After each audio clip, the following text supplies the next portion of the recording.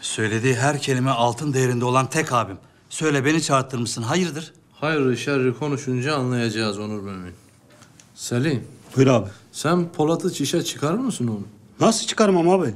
İyi, hadi birlikte şöyle çıkın, bol bol oksijen alın olur mu? Nasıl olmaz abi? Selim.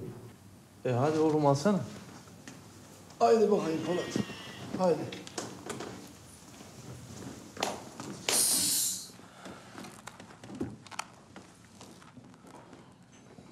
Abi maşallah. Senin burası da darıcı hayvanat bahçesi gibi. Öküzü yılanı bol. Ne diyor kitapta? Ne diyor abi? Vel minel mahlukatul alemul hayran vel te'a ente gönülül seyran. Yani diyor ki hayvanı sevmeyen insanı sevemez. E doğru abi. Hangi kitap bu? Onur Mümin ne yersin? Ne yiyelim abi? Kızarmış pinar sopası var yer misin? Yok abi bende reflü var. Maşallah senin de bugün ziyafet günün ha. Arkadaşlara ziyafet vermişsin hiç bize söylemiyorsun. Anlattılar demek. Ha anlattılar. Vallahi terlemişler. Ya Onur Mümin sen bu işin ciddiyetini bu mübareklere anlatmıyor musun? Sen demiyor musun onlara Hacamat abim sizi etinizi kemiğinizden, kemiğinizi derinizden ayırır diye?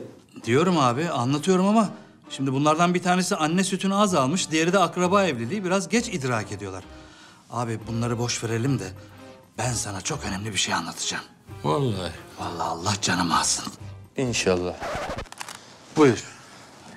Oğlum nerede kaldı lan bu adam? Kaç saat oldu ya? Acık tevekkül Süleyman. Bak buraya ne yazılmışsa o olur kardeşim. Acamat, Selim, Polat, ecel geldi mi hepsi bahane olur anlıyor musun? Sen niye böyle konuşuyorsun? Niye beni korkutuyorsun? Niye içimi karartıyorsun durup dururken ya? Sen niye mızıkçılık yapıyorsun hem? Niye Onur'u dinlemiyorsun? Hadi Onur'u geçtim beni niye dinlemiyorsun? Ben senin kaç yıllık vefalı dostunum, kötü gün dostunum. Kaç defa hayatını kurtardım senin ya? Hatırlıyor musun lan bir kere bisiklette binmişsin yukarıdan rampadan aşağı geliyorsun böyle da. Ba nasıl geliyorsun ama kaptırmışsın frenler patlamış saçlar böyle sallanıyor. O zaman saçlarım var tabii. He saçlarım vardı o zaman. Ama mevzu saç değil, bisiklet. Bana doğru geliyor, hızlı hızlı. Ben ne yaptım? Önüne geçtim senin, durdurayım diye bisikleti. Bana bir koydun, sen kaldın, ben devam ettim. Altı ay hastanede yattım. Olur öyle. E senin için. Dostumsun, kardeşimsin. Yine bir gün top oynuyoruz, hatırlıyor musun? Sen tabii kazma, dağın dön dağın kazma sporu bir kodun, inşaata gitti top. Ben de arkasından. Bir girdim içeri, inşaatçı abi topu tutmuş. Yeter Süleyman yeter sus. Kötüydü tabii. Çay koyayım. Koyma, doldur. Ne diyor kitapta?